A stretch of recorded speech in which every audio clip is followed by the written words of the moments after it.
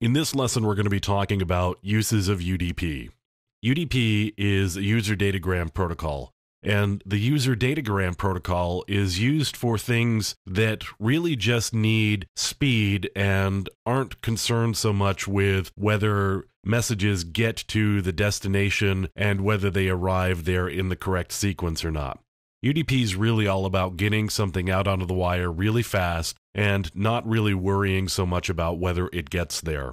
Some uses of UDP. Here, for example, we've got a DNS packet. And of course, we'll get into DNS in subsequent lessons, but DNS is how we do lookups of names from the name to an IP address or vice versa. So with a DNS lookup, I'm really looking for speed because if I have to do a DNS lookup, then I really want the name to come back quickly or the IP address to come back quickly so that I can continue doing the actual work, which is sending the request to the correct IP address. I need to do that really fast, and I don't worry so much about whether it actually gets there. And I'm really not going to be worried about sequencing because DNS requests and replies are small enough that they're going to fit inside one datagram.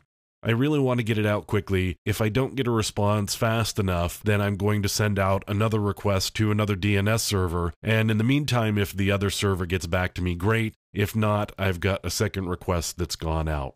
So I'm really looking for something that's fast and not really worried so much about efficiency.